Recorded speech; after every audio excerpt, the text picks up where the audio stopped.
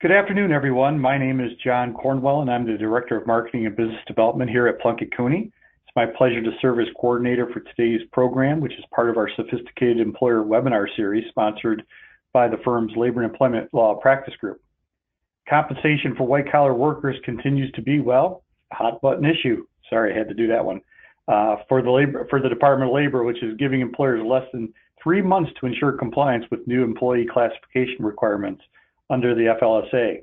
Joining us today to explain the new requirements are Plunkett Cooney uh, Labor and Employment Law Practice Group members Laura Dinan from our Petoskey, Michigan office and Claudia Orr from our Detroit office. Uh, as always, before we get started, I'd like to take a couple of moments to provide you with some background about today's speakers and our law firm. For those of you who don't know, Plunkett Cooney is based in Southeast Michigan and is one of the Midwest's oldest and largest law firms with approximately 140 attorneys. We have seven offices in Michigan, as well as offices in Chicago, Illinois, Indianapolis, Indiana, and Columbus, Ohio. Our employment law practice group includes more than 20 attorneys who work in the areas of traditional labor law, human resources consulting, employment litigation, and workers' compensation. Our sophisticated employer webinar series is designed to help human resource professionals, risk managers, and business executives stay up to date on important legal issues and to provide HR best practices as well as to discuss trends in workforce management. Today's webinar is approved for 1.25 general recertification credit hours through the HR Certification Institute and 1.25 professional development credits through SHRM. Following today's program, a certificate of completion will be emailed to each of you reflecting that credit. That usually takes a day or two, so uh, just look for that in your email. If you don't need CE credit, simply disregard the certificate. And as I mentioned, I'll introduce our speakers uh, today. We're joined by Claudia Orr and Laura Dinan. Um, Claudia has nearly 30 years of experience representing employers ranging from Fortune 500 companies to small businesses and nonprofits. Claudia's, uh, Claudia provides a range of services in all aspects of employment law and defends her clients when litigation and administrative issues arise. She also regular, regularly serves as an arbitrator and as a mediator in employment law cases. Claudia is serving as a member of the board of directors of Detroit SHRM for the second time, and uh, this time as the secretary of the organization. She also remains a member of the organization's legal affairs committee. Laura Dinan has over 30 years of experience advising employers. She's built a successful practice representing public and private sector employers of all sizes throughout northern Michigan. Laura's expertise includes traditional labor and all types of employment law matters. She's a past president and currently serves on the board of directors of the Northern Michigan Society of Human Resource Directors. And now just a couple of housekeeping notes and we'll get underway. For the Q&A portion of our webinar, we're going to use our questions widget on your GoToWebinar navigation display. Uh, so please take a moment now to locate the widget and feel free to enter questions as they occur to you during the program. At the end of the presentation, we're going to try to answer as many questions as possible. And I always add one caveat to that. Um, so we ask you to please ask questions of a general nature. We, um, we don't want to discuss specific or ongoing issues in your workplace because that's best done privately, as we hope you would agree. And finally, I want to mention that today's session is being recorded, and that recording will be available on the event page of Plunkett Cooney's website, which is located at plunkettcooney.com. Feel free to share that link or direct your colleagues, to, colleagues who couldn't join us to that page. Thanks again for attending today's webinar. Uh, now let's get started and see what's new in employment law. Laura, I believe you're up uh, first, so take it away. Thanks, John.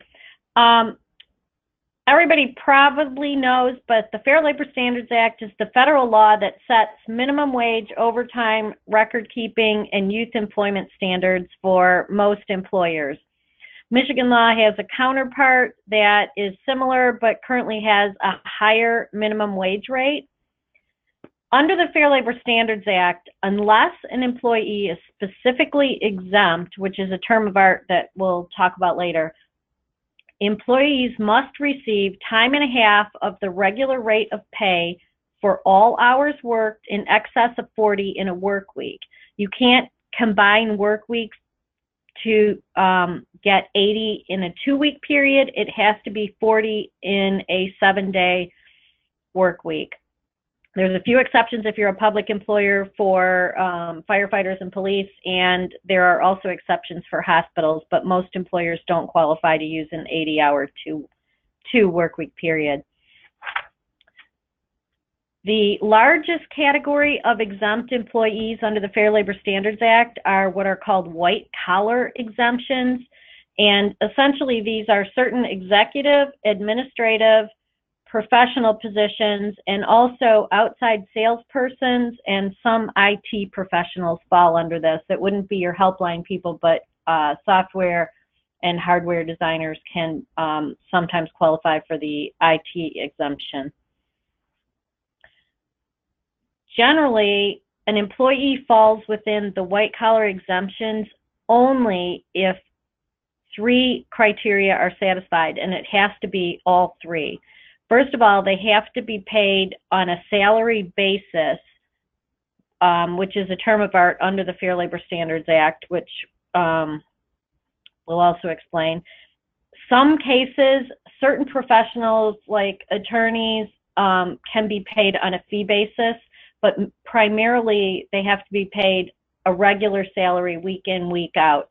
And that salary has to meet a minimum level, and that's what we're bringing to your attention today. That was just changed by the Department of Labor. The minimum salary level jumped. And third, they have to meet the duties test to be exempt. And there are um, specific guidances in the Department of Labor regulations that help you go, go through and determine if they meet the duties test. And Claudia has an awesome chart attached, or I think it's been uploaded to the materials that she'll explain a little bit to you right now. Thank you, Laura. Um, if everyone downloaded the chart that, that was attached um, to the webinar um, waiting room or introduction, um, you'll see if you scroll, for example, to the second page, it says the executive exemption. And the way this chart works, I'm just going to explain how to interpret the chart and then you can use it on your own, is that the actual test for an exemption is going to be on the left. And then on the right are the explanations, the definitions, the examples, the tips, and so on. So for example, the test for executive exemption will, will take, take up several pages as you scroll through it. And um, the first part of the test is that the compensation be paid on a salary basis at the rate of not less than $684 a week, exclusive of board lodging or other facilities. And so you might say, well, what does that mean, exclusive of board lodging or other facilities? And so the um, explanation for that is on the right. And again, for the executive exemption, you have to scroll several pages down to get the entire actual test on the left. So you'll see part A and part B are on page two. You keep scrolling down, there's more tips, more explanations. Part C and D are actually on page four. So the test is always on the left. And if you're concerned about what does that mean, the explanations are on the right. So that's how you use the chart. Laura, back to you. Thanks, Claudia. So the Fair Labor Standards Act was passed in approximately 1932 during the Depression, and there were minimal, if any, changes for many decades. And over the last 20 or so years, there have been a couple changes, but the salary levels in the Act um, are pretty out of tune with what the economy is like today. So in March of 2014, President Obama signed a presidential memorandum directing the Department of Labor to update the regulations and, in particular, look at the salary basis. He didn't think it was right that people who only earned about approximately $23,000 a year were not entitled to overtime. So in June of 2015, the Department of Labor issued the proposed rule. And at that time, they proposed that the salary basis be increased to from $455 a week up to $970 a week or $50,440 annually. And once the Department of Labor issues a proposed rule, it goes out for comment. They're required to read every comment, so it delays implementation. In March of 2016, the Department of Labor submitted the final rule, and after listening to the comments, instead of doing a fixed threshold, they tied it to wage rates that would change over time, and it was a pretty complicated scale. On May 18th, 2016, that final rule was published. It set a new standard salary level, or the salary basis, to be based on 40, the 40th percentile of full-time salaried workers in the lowest income census region, which currently and usually is the South. That's where the lowest paid employees generally are. It set a new highly compensated employee exemption based on the 90th percentile of full-time non-hourly workers nationally. But the court struck down these 2016 regulations. So we have a chart here showing the previous standard salary in um, 2014 was $455 a week for an annual salary of 23,660 and if you used the highly compensated employee figure the annual threshold was $100,000. The 2016 standard salary proposed was $913 a week for an annual salary of 47,476 or if you use the highly compensated employee annual threshold, it was went from 100,000 to 134,000 dollars a year. Claudia? All right. Um, so here's another way of, of looking at uh, what is happening um, the 216 in 2016 what the amount was compared to 2019 you can see that basically between the 2016 obama regulations and the current regulations that they basically split the difference between what what had been passed in 2004 which was $455 a week. They kind of split the difference between that and the 913 came up with 684 almost smack dab in the middle. Um, and then again, you can see how they changed it from uh, um, President Obama's um, era, 134,000 and change down to 107,000 dollars. Next slide. Here's a uh, another way of um, looking at the progression of the increases from 2004, which is 455, to 2016, 913, down to 684. And there are exceptions, by the way, for employees that work in some of our territories, unless they're working for the uh, U.S. government there. And again, on the right, you can see the difference. um, it, it, actually should be 107,432, not um, 10,442. I don't know how that typo got in there. Um, but you can see how it, it's changed up. Next slide. So how does that break down if you're paying them on a weekly or biweekly or whatever basis? Um, so these are the equivalent amounts for the new salary thresholds. You got to pay them at least 684 a week or 1368 if it's every two weeks. If it's monthly, which is a little bit different to calculate, it's 1482. And if it's monthly, it's 2964. But by the way, the shortest period that you can use for an for a salaried employee is a one week period. Next. The the test for the highly compensated employee really hasn't changed. Uh, the employee must customarily and regularly perform any one or more of the exemption duties, not all of them for an exemption. Um, but again, this is increasing the um, threshold for a highly compensated employee from 100,000 to 107,432 dollars.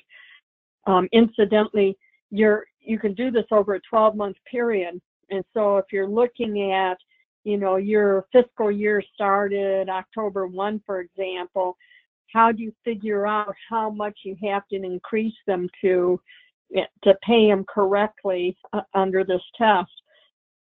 So if the annual co- period covers both before and after January 1, which is when the new regulations take effect, the total comp required the first year is determined on a proportional basis.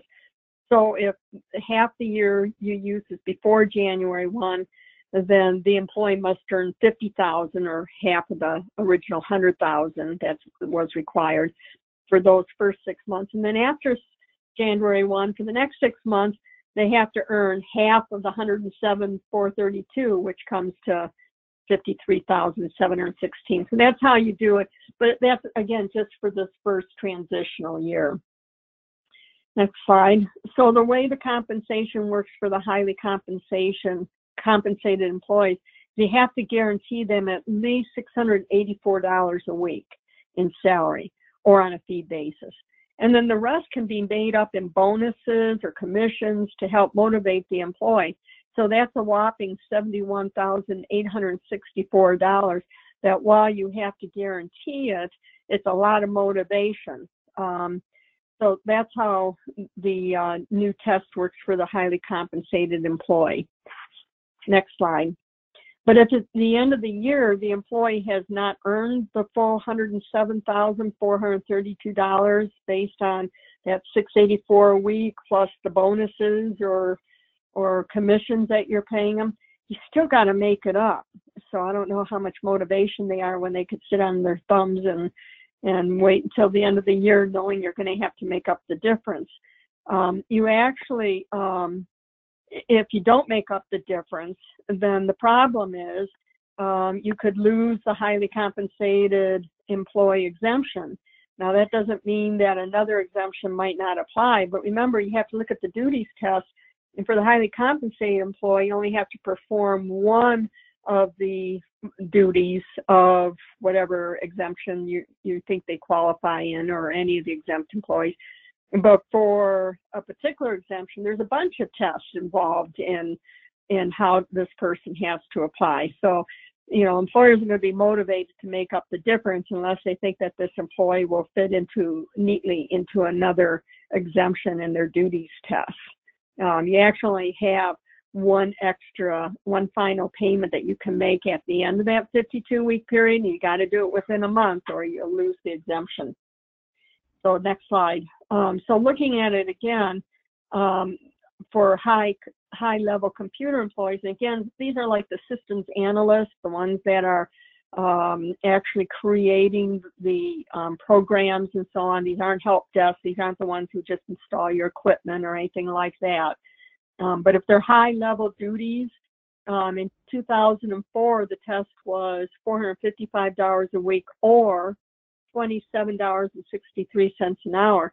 In 2019, the weekly amount is, has um, risen, but it's still the 27.63 an hour um, to qualify for the high level computer employees test. The um, thanks, Claudia. The new Sorry. regulations allow non-discretionary bonuses, incentive payments, and commissions to satisfy up to 10% of the new standard salary level. So up to $68.40 of the $684 can be um, attributed to a bonus, an incentive payment, or a commission. The non-discretionary payments have to be made on an annual or a more frequent basis.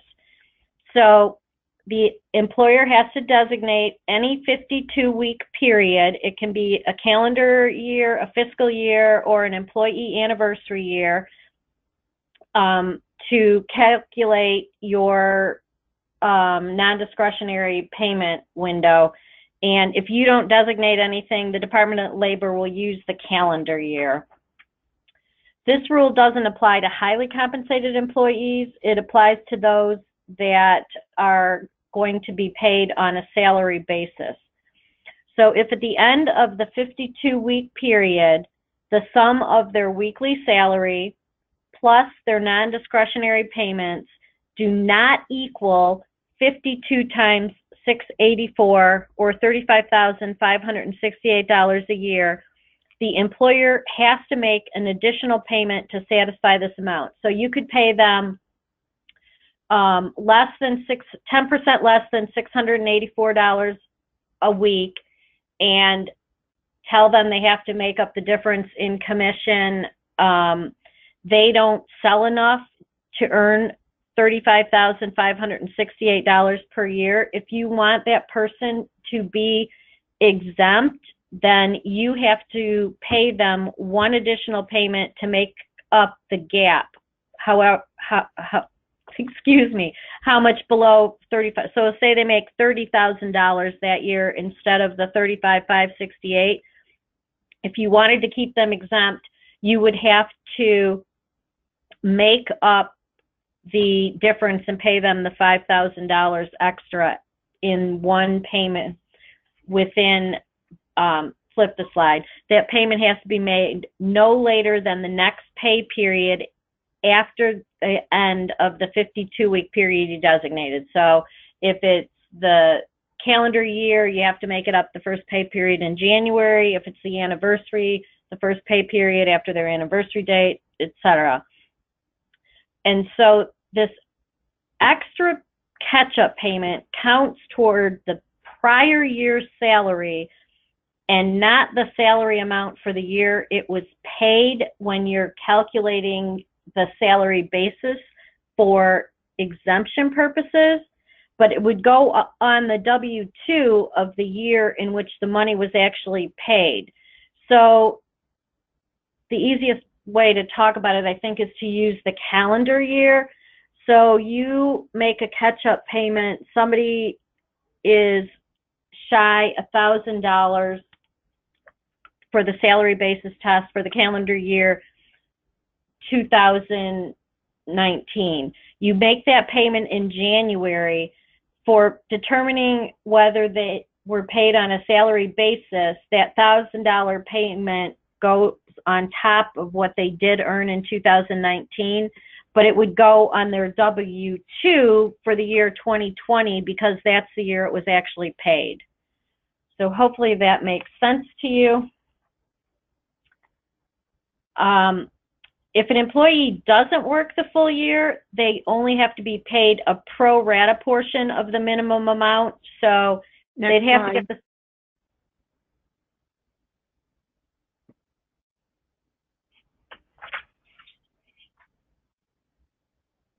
if they don't work the full year, they get a pro rata portion of the minimum. So you could pay them $684 um, for all the weeks they worked. But if they don't work a whole year, they don't have to make the 35,568, and they could, on the salary basis, still be properly classified as exempt if they met the duties test. I think we already talked about the employer has to make the extra payment within one period after the end of employment. Claudia? Okay, so um, there's a new thing that they have called the minimum guarantee plus extras. So lately, I've had a lot of clients who employ RNs, and they there's a shortage of RNs, and they're wanting to provide additional compensation to encourage the nurses to work more than their 40 hours. Um, and it's been a little tricky, you know, to come up with a motivating bonus not tied directly to hours, fearful of losing the salary basis um, payment schedule. So the new regulations say that you can actually pay exempt employees additional compensation without violating the salary basis, which is really cool um, because you don't want to jeopardize the exempt status. So starting January 1, an employer can pay exempt employees the $684 a week in salary and pay them additional amounts to motivate them, such as commissions on sales, percentage of profits, next slide, or additional compensation for extra hours worked beyond the normal work week. This added compensation can be either at straight time, the hourly rate that, that their salary would break down to, or at time and a half the hourly rate, um, which prior to these new regulations would have given me more gray hair to have a client paying a salaried employee at time and a half or hours worked over 40 in a work week, that, that just would have been a big problem. Um, it can also be now a flat sum, a bonus, um, or any other amount you want. Um, another choice is to um, actually provide the employee with additional paid time off if you want. Um, but this would only help if the employee employer if the if the employer only needed the added hours from the worker on a temporary basis. If you need them to work extra hours on a regular basis, giving them extra time off just doesn't really make any sense. Next slide. So here's an example. Uh, if you have an exempt employee who's paid, let's say, a thousand bucks a week, and generally that employee works 40 hours, um, let's say they're in retail, and during December the employee needs to work 60 hours a week, the employer can actually reward the employee with extra pay, or as we discussed, grant them extra time off come January. Next slide. Um, also, the manner in which the exempt employee can be paid has, has expanded under the new regulations. And so instead of a weekly salary, exempt employees may be compensated on an hourly, daily, or shift basis without affecting their exempt status. That's that's kind of um, uh, a huge shift in in how you have to pay your salaried employees. But for this arrangement to be permissible, you have to have a guaranteed minimum weekly requirement of $684, regardless of the number of hours, days, or shifts that the employee actually works, because you got to satisfy that minimum threshold. And there must be a reasonable relationship between whatever guaranteed amount there is and the amount that the employee actually ends up earning. So let's look at an example of how this means, what this means. Um, the reasonable relationship test will be met if the weekly guarantee is pretty much roughly equivalent to the employee's usual earnings at the assigned hourly, daily, or shift rate um, for the employee's normal work schedule. Um, maybe some examples will be helpful. So let's say the employee is guaranteed at least $725 a week for any week in which he performs work. That's the guarantee. And let's say he normally works four to five shifts a week. That means he may be paid about $210 a shift without violating the $684 a week minimum salary threshold requirement. So if he works four shifts, he will make $840. If he works five shifts, you're going to pay him $1,050 um, because you're paying them 210 a shift, and the more shifts the person picks up, the more um, they're going to earn um, and this thousand fifty dollars is not that much more than the original seven hundred and um, fifty dollars or two hundred ten a shift that you're guaranteeing. So um, that has a reasonable relationship. Next slide.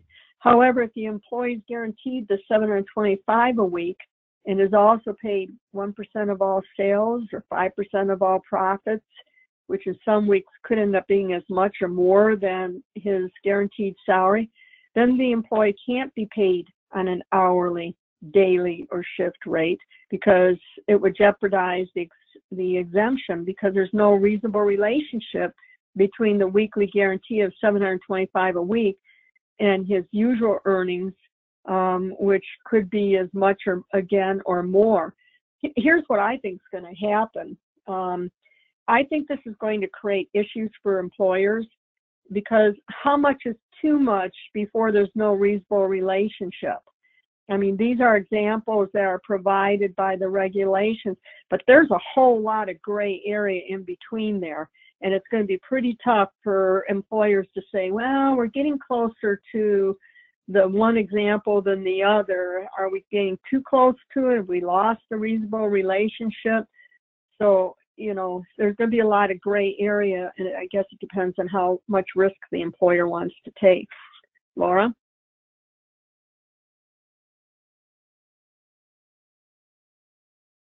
Sorry.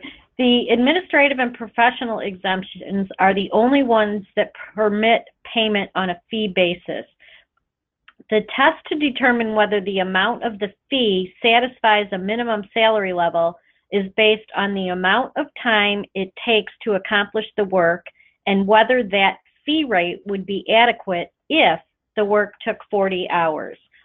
So the example in the regulations is that an artist was paid $350 for a picture that took 20 hours to complete because the artist would make $700 if it had taken 40 hours it would satisfy the current $684 requirement. But if the artist was only paid $300 for the picture that took 20 hours to complete the artist would only make $600 if it had taken 40 hours and that that would not satisfy the current $684 requirement so mark your calendars. This takes effect January 1st, 2020, which will be here before we know it. Um, what, what should you be, next slide please. What should you be doing right now? You need to conduct an internal wage and hour audit. You need to identify those employees whose status could be affected by the proposed salary threshold, people that you are currently treating as exempt that don't, uh, excuse me, don't make at least $684 or $35,000 a year.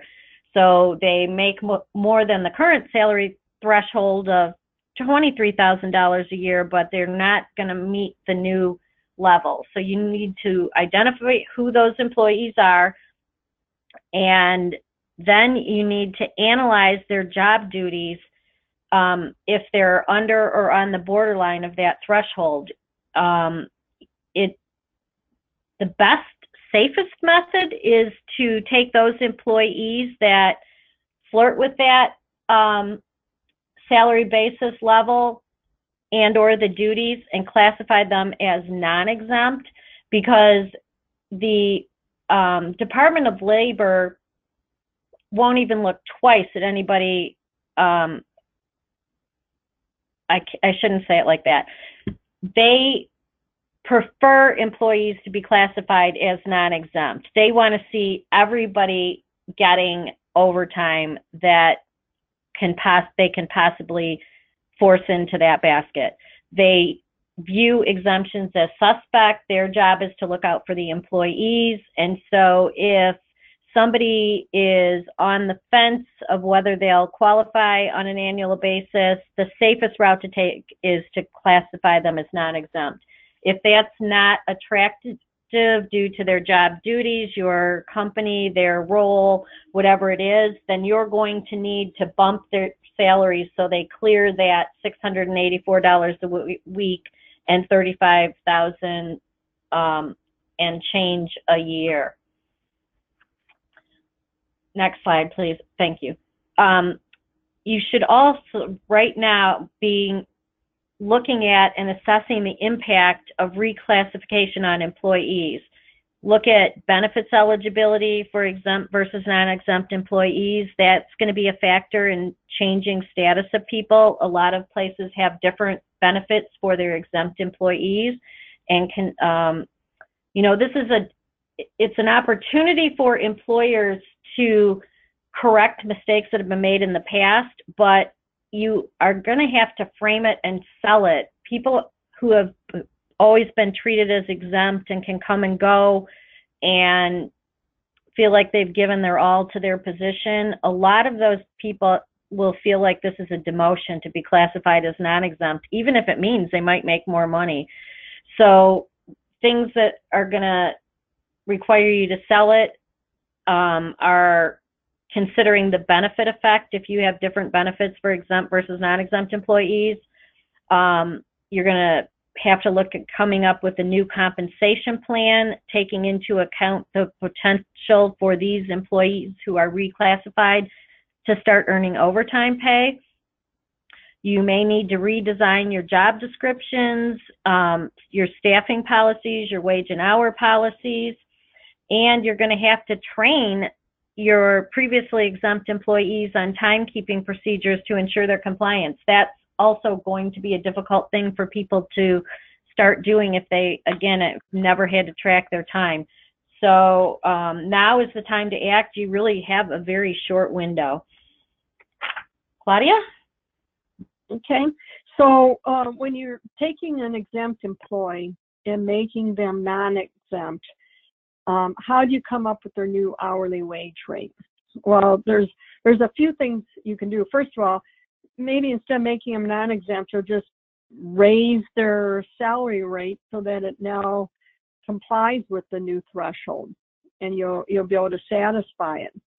Um, after all, it's it's only an extra two hundred thirty dollars a week or so that you'll have to pay them. No impact on the budget there. Um, but if you're going to actually make them non-exempt, um, you could actually still, now that they're hourly employee, you could still pay them on a salary basis so that the employee re- remains happy because they're still getting a salary. Um, but require them to track their time and pay them time and a half for all overtime that's worked. This actually increases the cost of the payroll the most and is the worst deal for employers because you're you're still guaranteeing them a minimum salary a week no matter how few hours they work. But now in addition to that, you get the pleasure of paying time and a half. Um, next slide. Or the employer could pay the employees at a comparable hourly rate that would take into consider the amount of overtime that's going to be required of the position. So if you calculate it correctly, um, you'll maintain your current payroll and the number of hours work that you get out of the employee. It's the least amount of change for everyone. So, for example, if the employee gets paid 475 a week and has to work 45 hours a week to earn that, um, that's the same as actually paying them for 47 and a half hours because that last five hours of the week um, they're getting paid time and a half. So those five hours are like seven and a half hours pay. Um, so that equates back to ten dollars an hour um, this calculates in the overtime you expect to pay each week for the extra five hours of work that's actually 47 and a half hours a week that you're paying them for. And, you know, when you do the math, it's 10 bucks. So they, they work the same number of hours. You get the same amount of work out of them. They take home the same pay. Everybody's happy, right? Um, or the employer can pay a comparable hourly rate, but prohibit overtime. So you would divide in 40 hours, a full-time employee, to the 475. Now you're at $11.87 and a half cents an hour um, so they're actually earning more per hour, and your payroll will only stay the same if you make the employer employees not work overtime.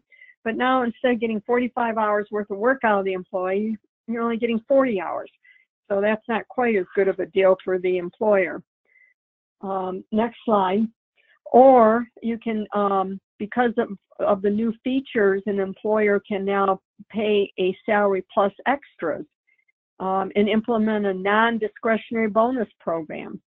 Um, bonuses are typically better than um, commissions for a variety of reasons under Michigan law that I don't have time to go into, but it's my preference to have bonuses instead of commissions, especially if it involves any kind of um, sale of, um, of, of products. Um, but to offset the higher payrolls, the company could actually um, maybe lower its contributions to benefit plans like the copays for health insurance and increase the employee contributions on the premiums. That that could help offset the payroll if if this change is going to make things tight. Or you could eliminate discretionary benefits such as the short-term disability, long-term disability, dental, stuff like that to offset the extra payroll. By the way, there was just something that came out about bonuses. I don't know if you folks know this, but um, if you pay a, a bonus, if you announce a bonus at the beginning of the year and you pay it at the end of the year, and it has to do with, you know, like you're motivating the employees to work harder, make more profit for the company, and so on. Whatever you pay the employee, you've got to take it and and attribute it to each week during the year. So if you're paying them fifty-two hundred dollars, that means that the employee actually earned an extra hundred bucks a week. And if they worked any overtime, you now have to take that hundred dollars a week into consideration for what their regular rate of pay is and pay them additional overtime pay for that bonus as well. There's a proposal by the Department of Labor that would change this up so, somewhat if it if it actually goes through. I don't know that it will, but they are considering changing it up um, uh, in a limited way. Um, So uh, next slide. Another way to um, cut the added costs is to make lunches unpaid if you've been paying them in the past, or you consider um, alternate payment plans for the exempt employees, like paying them by the shift, the hour, day rate. That way, if they're not working, you know, five shifts in a week like they're supposed to, instead they're only working four, you, you actually aren't going to be paying them as much. Uh, next slide. Um, and of course, you need to formalize necessary reclassifications by making sure the job descriptions and titles are correct in the file, make sure all individuals in specific positions are classified correctly, review the duties, fix any screw ups that you made in the past, and re- correctly classify employees, communicate the changes to the employees, have them sign the new job descriptions, and follow up with employees, especially those who um, weren't used to punching in and out, make sure that they're doing things correctly. Next slide. But the inevitable result is that typically companies are going to have more non-exempt or hourly employees, which means that there's going to be more overtime. Next slide. Perfect. Op- this is the perfect opportunity to pass inadvertent misclassifications. As Laura was saying earlier, um, you have to be concerned when you change an exempt employee to non-exempt and selling it correctly, or the employee's um, nose will get out of joint. They'll think they've been demoted. They won't be happy. But here you can blame it on a change in the law. You had no choice. You had to make them non-exempt, and so you can kind of um, hide some of the the sins of the past um, and hopefully fix it without the employee becoming wise that all along they should have been getting time and a half for all hours actually worked over 40 in a work week. Um, this will allow employers to consider whether classifications are accurate and, and in light of potential changes to the job duties and descriptions.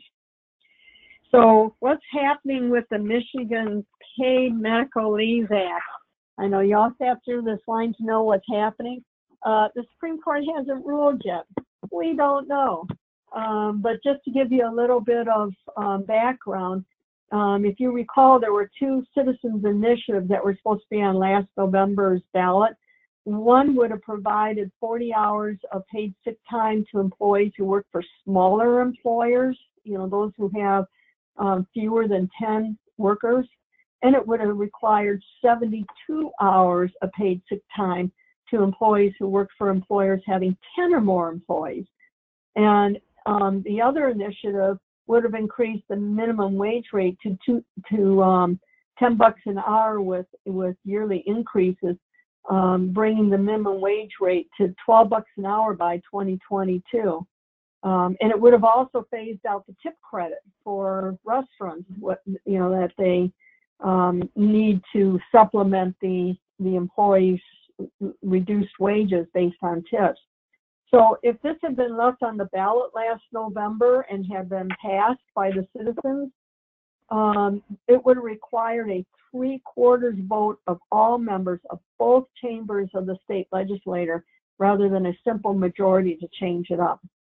So what happened was after the no, um, before the November election came, the state legislature adopted both laws, and then after the election, they amended both of them. And Governor Snyder signed it in the lame duck session, and now we have the amended versions in law. And that's the rub for the Supreme Court. Um, the amendment significantly watered down the benefits to employees, making both laws far more friendlier to the employers. Um, the way it's set up now, instead of 12 bucks an hour by uh, 2022, em- employees aren't going to make 12 bucks an hour until 2030. So you see how much more favorable it is to the employers with what was done during the lame duck session.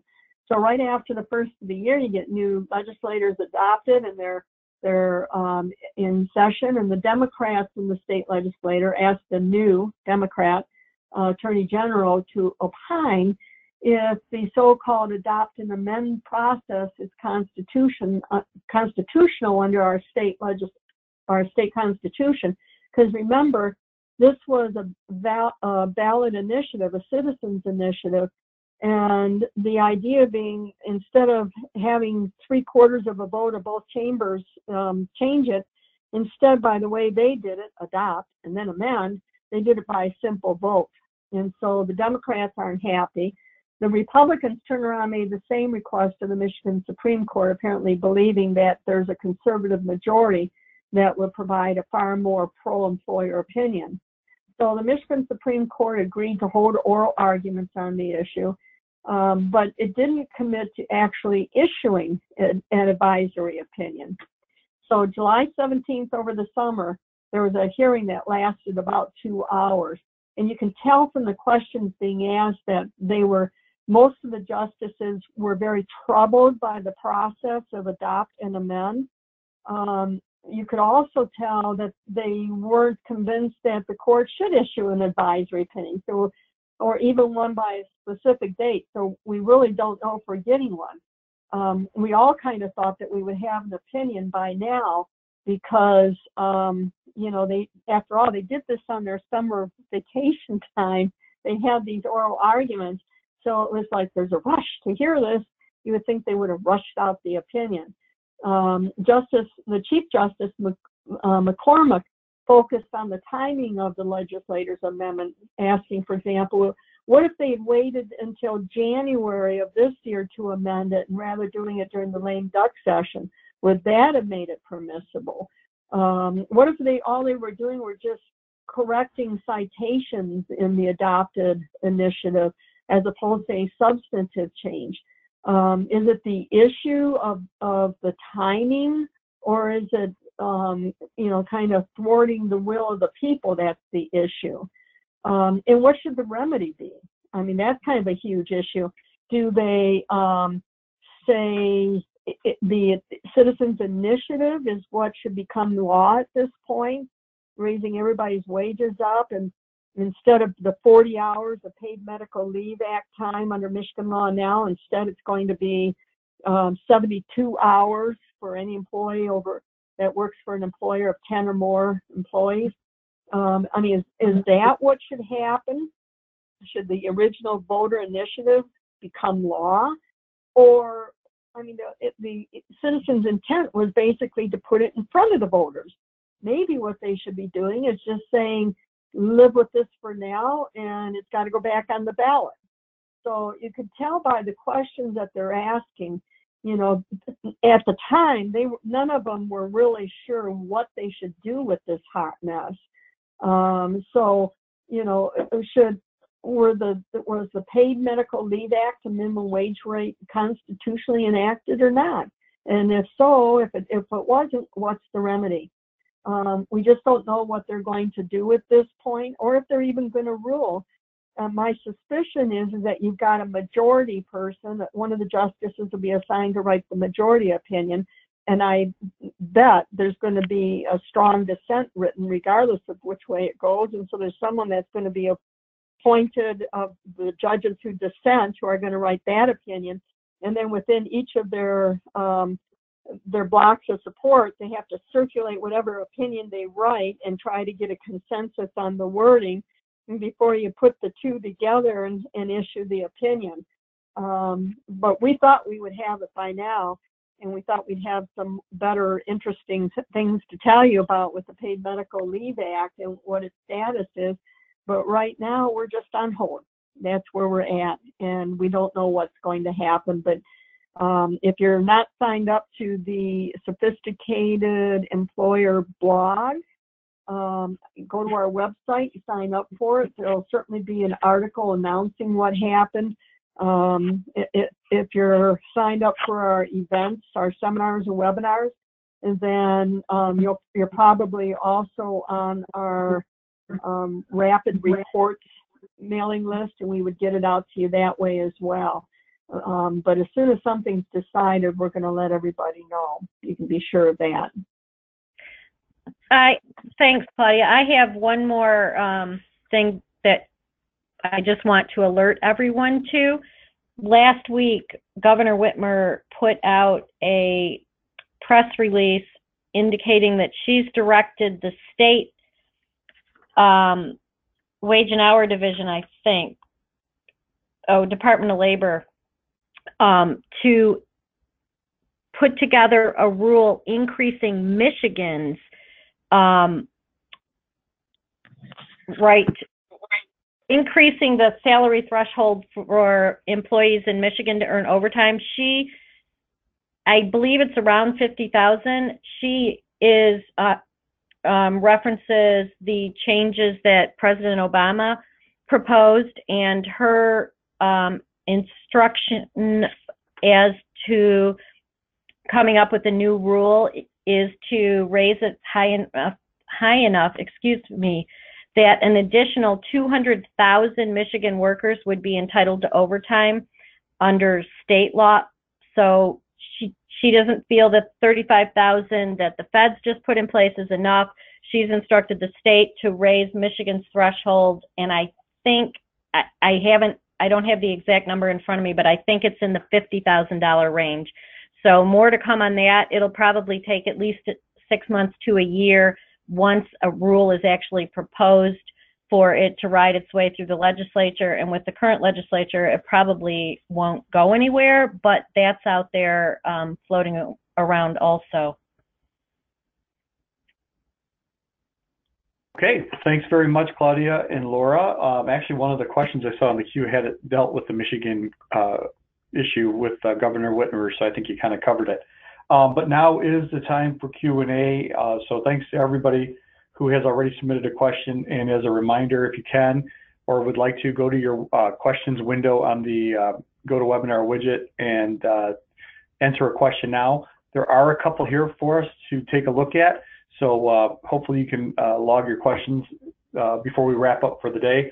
Uh, the one question that I see here is as follows. Does the minimum guarantee plus extras, and in parentheses specifically the straight time hourly rate, in effect now or only January 1st? And uh, does the reasonable relationship test still apply?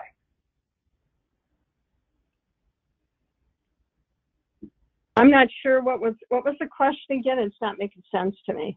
Okay, so let me try it again. Does the minimum guarantee plus extras uh, now in effect now or only uh, after January 1st? And does the reasonable relationships test still apply? Um, the reasonable relationships test will apply um, at all times for this change. Um, when the 2006 regulations were struck, there's some question whether it was just the threshold level that was struck or whether or not the regulations were struck in their entirety.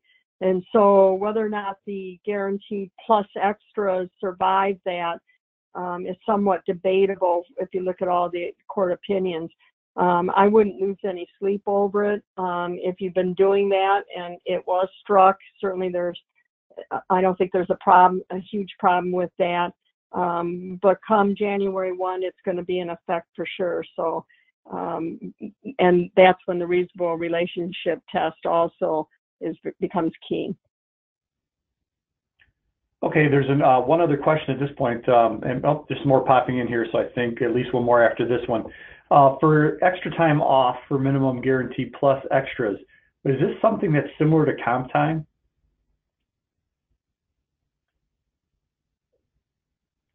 No, comp time actually applies, is a concept that applies for um, hourly employees. Like instead of paying them time and a half, instead you give them um, comp time off where they get paid for their time off. Um, it's it's limited. Um, you still have to worry about federal regulations, which which don't permit that for the most part, except in rare exceptions. Um, state law allows it but you usually come under the federal regulations if you're engaged in commerce and do enough business. So it's it's it has nothing to do with comp time off. You can just let salaried employees work one hour a week and pay them their full salary if you want to. Um, the the issue of giving them additional paid time off usually has more to do with accountability issues. So if you have like a PTO plan that gives them 40 hours a year that they can use and they're coming in late or leaving early, you can still make them use up the time in their PTO bank so that there's there's some accountability. Now later on, after the time's gone, you may still end up having to pay them for the time, but they've used up their time off in a in a program, um, and so it's it, that has to do more with accountability.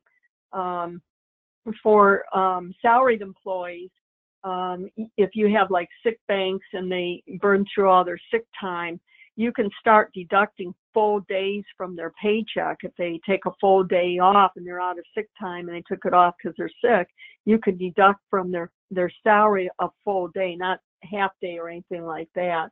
Same thing with vacation time. If they take time off for personal reasons and they miss a full day, you can deduct a full day from their salary if they take a full day off for personal reasons and they're out of their vacation time. Uh, if they take a day and a half off, you could only only deduct the full day. You can't make any partial day deductions for anything from a salaried employee's check, unless it's under the Family Medical Leave Act, in which case you can deduct um, as low as an hour from their paycheck for time off without pay if they don't have any time to use. Great, thanks for that. Um, now, again, last reminder to enter your questions now. I have a two-parter here and it has to do with uh, salary threshold, beating the salary threshold. So there was an example of the employer who pays an additional thousand dollars in 20 uh, in 2020 to ensure an employer met the 2019 salary threshold. And it, the question is, how does this then impact the the year-to-date wages for 2020? And there's a part two to that.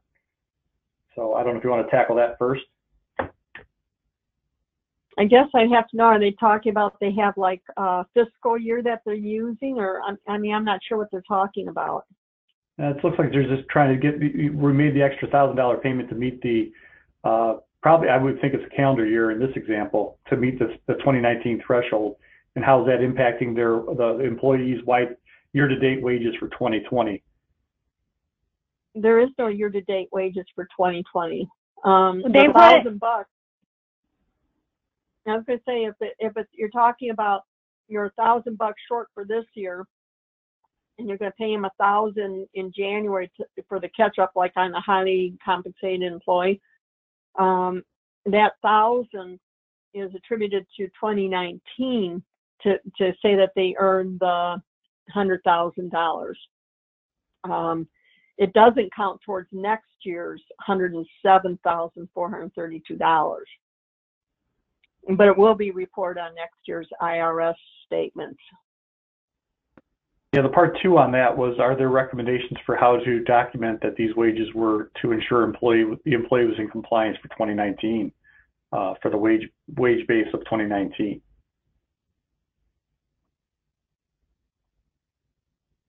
Recommendations for how to document that, the payment Well- for, It wouldn't, I guess it, it would depend on the kind of documentation you, you use.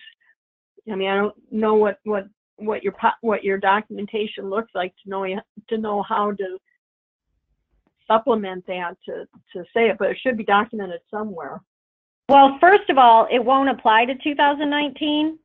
So it only starts, you can only use that rule beginning in 2020. Um, but I think, yeah, I'm with Claudia. However you do your record keeping, there should just be a notation that this is to sal- satisfy the prior year's salary basis test. okay. Um, couple other questions here. Let me see that this one. Are there any concerns with a licensed insurance sales professional on commission uh, draw that is uh, below a minimum salary threshold, but total compensation with commissions at the end of the year exceeds 35,000?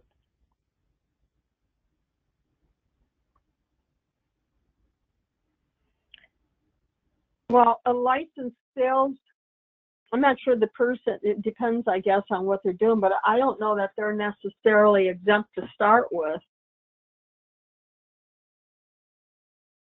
Yeah, it Depends. Yeah. It depends if they do all outside sales. If they're sitting in an insurance sales office for a portion of their work, they're probably not exempt. Okay. Um, this one, it, it alludes to um, a change. Let me read it to you this way. Will, will this change affect employees that receive a salary draw that is based on wages that are based on being 100% just commission.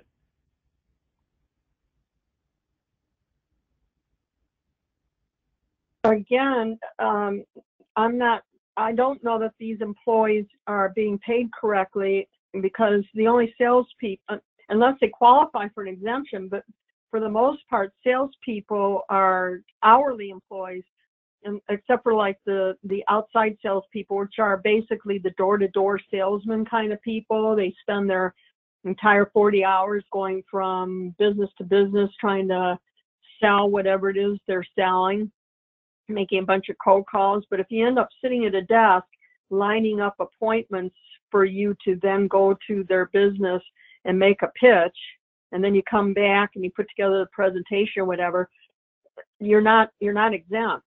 So I'm not sure what it is they're hoping to do with this employee. I mean, you got to be paying them on an hourly basis. So where would you get the salary draw from the commissions when it's supposed to be they're supposed to be paid hourly? Well, and part of the reason we put both your contact information up on the screen is so that people, you know, could potentially contact you. So if you have these kinds of specific questions, I know we covered a lot of material. There's a lot of different uh, variables at play. Um, Laura and Di- Laura and uh, Claudia are definitely uh, available if you'd like to follow up with them. Um, you know, we encourage you to do that. So um, I don't see any other questions in the queue at this point. So I think what we'll do is try to wrap things up. We're, we're past the hour. Um, so let me just uh, kind of plow through some of the closing comments that I have. And one of those is that we always try to um, make sure that we get feedback from our event attendees. And so at the conclusion, we're going to send you pretty quickly after the conclusion a very quick uh, survey. We always take a look at those surveys to try to find out how we did, of course, but also to find out what topics are of interest for you for the future. So we want to make sure um, to encourage you all to please complete, complete the uh, survey. We are getting our, um, we actually have our first installment of our 2020 webinar series, which I'll tell you about in a moment, but we're also trying to fill out the rest of the year. So your feedback is very important for that. Um, the next thing I want to mention, um, we are uh, approved for uh, credit hours today through HRCI and SHRM. Um, so please, at the uh, at the end of the conclusion, um, give us a little time. We're going to follow up hopefully tomorrow or no later than Monday to get out the certificates for that credit. Um, and again, I mentioned this too. We we send them out to everybody because we're not exactly sure who know, who needs credit and who doesn't. So if you don't, you could just discard those uh, certificates when they hit your inbox. Um, the next thing I want to talk about is that we have our event page up for this event. We did have a little problem with the slides. Um, so those slides for today were on the web page there. Hopefully you found them during the program. If you didn't, uh, please check it out. The, the uh, slides there plus the chart that Claudia went over are posted. So we uh, want to make sure that you get those and that if you want to uh, pass that information along, have your colleagues go to that event page as well. They can take a look at that information. Um, uh, also, the recording will be there. And then, as I mentioned, we've already got our first installment done uh, and ready to go for our webinar series to continue into 2020. Uh, Laura's going to be back actually with Sydney Percelli, who's one of our newer attorneys, and they're going to be talking about the winds of change and, and what the NLRB is up to and how that all impacts employers. So we hope you can join us on January 16th for that webinar as well. And uh, Claudia kind of beat me to the punch. She's uh, doing the job of promoting our, our, our, blog and our series. So we do have our sophisticated employer blog out there on our website. We encourage you all to check it out. Uh, you can see on the left there's a little email window. If you if you put your email address in there, you will receive alerts anytime we update that blog. And I know everybody's uh, waiting for some of those um, updates to come out from the Supreme Court and other areas as well. So we try to uh, be really proactive on getting those uh, communications out through the blog and other channels. So on behalf of Laura and Claudia, that I think wraps it up for the day. Uh, we want to thank all of you for taking time to be with us. We certainly appreciate it. And we want to wish you a, happy Thanksgiving and a happy holiday season. We won't see uh, talk to many of you until the new year. So all the best to you and your families. Uh, thanks again for joining us and have a great rest of the day.